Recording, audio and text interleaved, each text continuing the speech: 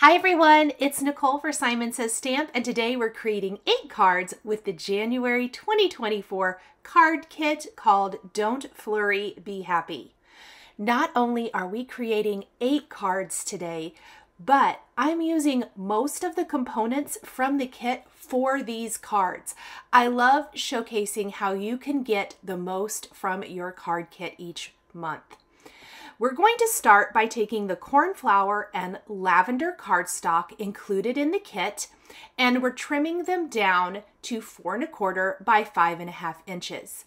I want to start with this bigger panel, even though we will be trimming them down to fit our card bases a little later on. Next, I'm taking the Cheery Snowflakes embossing folder included in the kit, and we are going to run those through our die cutting machine. I use a Spellbinders Platinum, and what I like to do is use the platform, the embossing folder with the cardstock or paper inside, and then I use the packaging from the embossing folder as a shim to get a really good embossed result. Next, I've got my Simon Says Stamp glass mat here. And actually, before we do that, let's go ahead and stamp our greetings. So I've also taken the white cardstock included in the kit, plus a little bit more that I have on hand from my stash. You could also just use the white card base if you want to. And using the Don't Flurry Be Happy stamp set also included in the kit, I'm going to change up how much room I leave of the white showing, I guess I want to say, depending on the sentiment I'm using.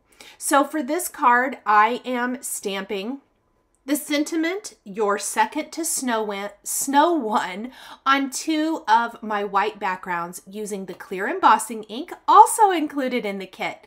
I love starting off a new year with a brand new embossing ink pad.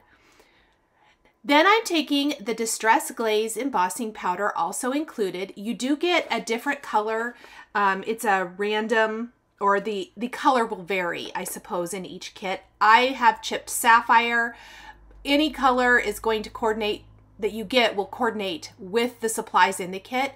I'm going to use that on all of my backgrounds. So I sprinkled on the embossing powder. I'm going to do this for two per sentiment. So instead of getting my heat tool out, I'm going to stamp both, add the embossing glaze to both, then heat set them. I will do this for all of my backgrounds. And again, there's going to be two per sentiment and there'll be a blue or a lavender background for each sentiment. I hope that makes sense. We'll end up with eight cards total.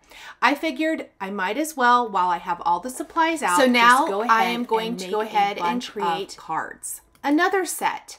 This one is going to require kind of a two-part process because I'm going to combine Snow Much and Thanks, and I want to emboss each section before I move on to the next. So we're going to stamp and apply the um, Distress Glaze to both backgrounds, and then we will stamp Thanks, and again apply the Distress Glaze, and then heat set. So I'm heat setting in between each I should also mention. That way I'm not accidentally picking up some of the embossing powder before I move on. I found this worked really well to mass produce, and I'm going to continue doing this for all eight cards. The other sentiments that I will be using is there's Snow One, Like You, and Don't Flurry, Be Happy. Once that's done, and before I apply the ink to the embossed backgrounds, I want to trim up my backgrounds. And I decided it would be easiest to work on these card set by card set. So each background or each sentiment that matches, I'm going to just trim those down, ink the backgrounds, before I move on to the next set. And this is because each one is going to vary a little bit. I want to leave as much of the embossed background as possible. So now I've got my cornflower and lavender cardstock backgrounds and we are going to start applying ink to really make the beautiful embossing pop. For the blue background, I am going to be applying Twilight and Galaxy Simon Says Stamp Positively Saturated inks. For the lavender backgrounds, we're using Violet and Iris Positively Saturated inks. I first went around the perimeter of the background lightly with my lighter or mid-tone color in that color trio. I'm only using the two darker colors in each color trio. And then I'm going around the edges with the darker color. The color will mute just a little bit and won't be quite as blotchy once the ink does dry. Let's go ahead and do this for the lavender background. Look at how rich and beautiful the backgrounds become with the application of just a little bit of ink. I love starting with a colorful cardstock base and layering that color on top for beautiful results. Now, once we have this done, I want to add some distressing to these backgrounds. And just to kind of add to that snowy, wonderful feel. I'm taking Frozen Fog, Distress Mica Stain, and also some white gouache and splattering or spattering that over these backgrounds and allowing it to dry before I apply it to the background. This is going to give us a shimmer first, which adds to that frozen snowflake feeling. And I like to add a little bit, maybe a spritz or two of water to my gouache to help it move a little bit better. And then a small paintbrush is my my preference for this. And we're just going to make some nice white snow all over these backgrounds. This is going to be the same process for every background Now I'll set these aside while I work on inking some of the others. So pretty. While all of that ink was drying, which it doesn't take long, I went ahead and die cut snowflakes for all of my cards using the specialty cardstock included. You're getting a A2 size sheet of holographic cardstock as well as a full sheet of the matte silver cardstock. I die cut snowflakes from a variety of these to use to help adorn the beautiful embossed background once it's adhered to my card base.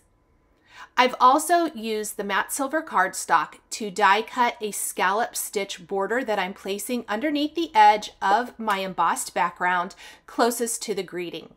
I left each of these a little bit longer and I can trim them up when I have everything adhered to the A2 sized background. Now I will have to trim my panel just a little bit. It's a little too long. I like when they're a little longer, but I will show you when I cut them a little too short. That actually works out as well. And that will be on a couple of the other cards here in a bit. Look how pretty these look. I think they're beautiful just like this, but with the addition of these holographic snowflakes, they are even prettier. Now, if you're going to make as many cards as I did in this video, you might want to pick up some additional holographic cardstock if you don't already have some in your stash. I used up all of the A2 sized cardstock included in the kit and then just grabbed a scrap that I had in my scrap bin that I had used previously for some other projects. I love this wonderful Harmony Snowflakes die set included in the kit. They're beautiful detailed snowflakes. If you're like me and they may stick a little bit depending on what you're die cutting and the holographic cardstock might stick in your die a little bit, a piercing tool of some sort is so handy. Then I'm going to place those snowflakes right on the background and we will adorn these with some of the amazing new Splash Drops stickers. These are all clear and iridescent or kind of that opalescent look. I love these. They are going to get used a ton in my craft room. I can see using them all of the time. For the two smaller snowflakes, we're placing a bigger drop in the center and really a tool of some sort is going to be helpful. They are sticky, but if you want to make sure they stay put, I love using a little dab of glue. On the larger snowflake, we're going to go around and we're adding the smallest size of splash drops on the outer points of my snowflake all the way around. Now in the center of this snowflake, I'm going to grab some white hearts. These are some Tic Tac jelly hearts from Trinity Stamps that are from my stash, and I'm going to glue one of those in the center of the large snowflake. We'll also include some of the kind of the opalescent looking snowflakes out um, in the background for a little additional fun. Oh my goodness, so pretty. Now I love to take these long shears from Tim Holtz and just snip off anything along the edge. And then I did realize I probably should have done that first. I had to move that one drop. So I'll keep that in mind for future cards. Oh my goodness, look at that shimmer and shine. So beautiful. We are going to continue the same process for all of the cards.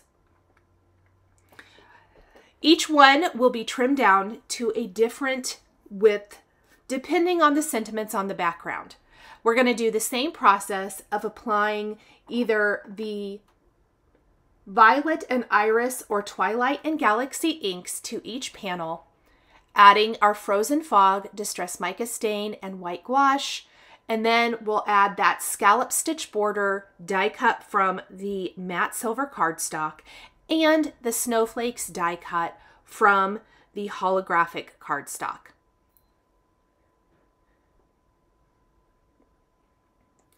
And then we'll add them to each of the backgrounds. Just like we did for those first two cards. Let's take a look at all eight cards finished.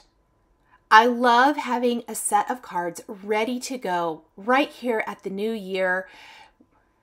Perfect for any type of occasion. Thank yous, birthdays, just because, and I love the snowy, wintry feel of each.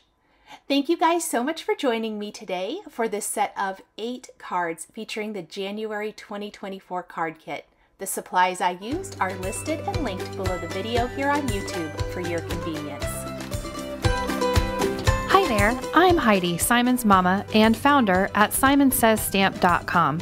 Thank you so much for watching our video.